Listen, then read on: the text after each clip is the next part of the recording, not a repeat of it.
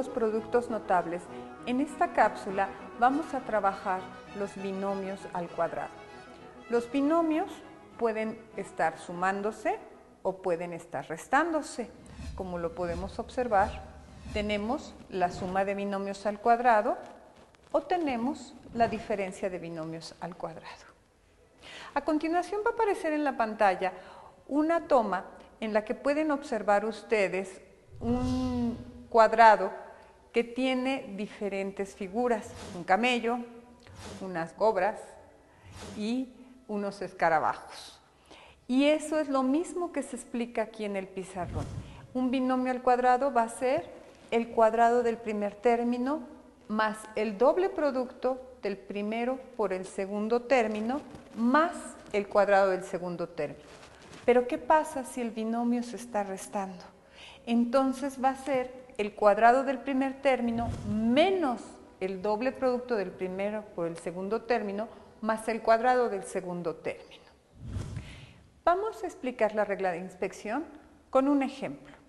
Vamos a empezar por algo sencillo, que les parece una suma. x más 3 al cuadrado.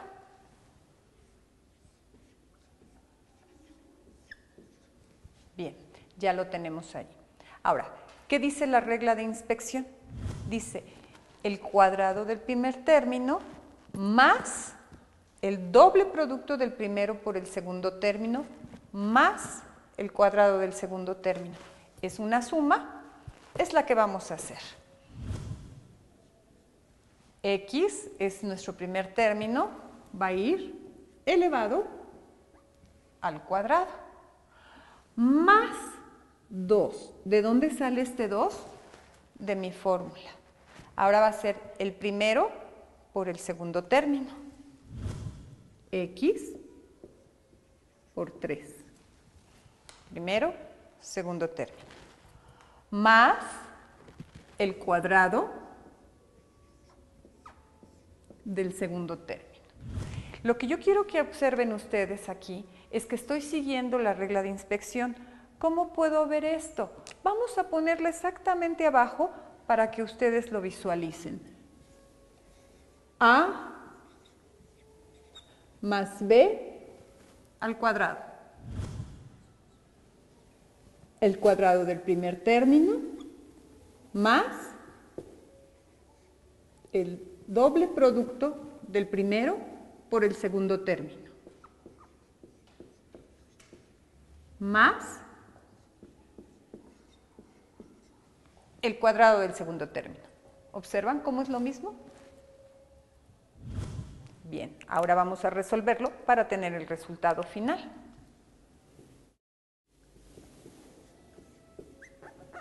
x al cuadrado, no hay mayor problema. 2 por x, 2x. Por 3, 6x. Más 3 al cuadrado, 9. Y aquí estaríamos llegando a nuestro resultado.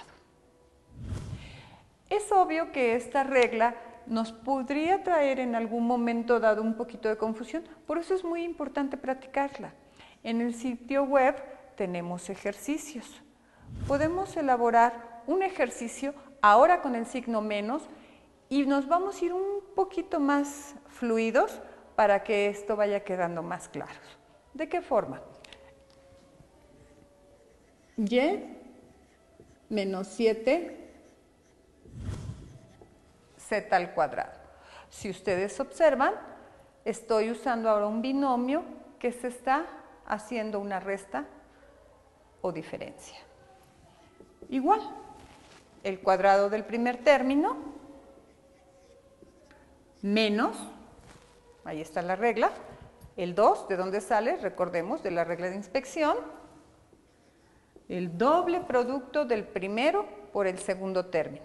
Primero, segundo término. Y por 7z más el cuadrado del segundo término. Ya que lo escribí de esta forma, vamos a dar el resultado.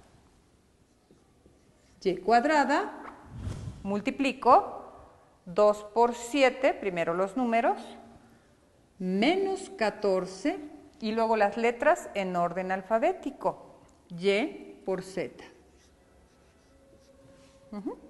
Y finalmente, 7 al cuadrado, 49 y la z al cuadrado, z cuadrada. Y aquí tendríamos nosotros nuestro resultado. Te invitamos a nuestro sitio web en donde vas a encontrar más ejercicios sobre binomios al cuadrado. Gracias.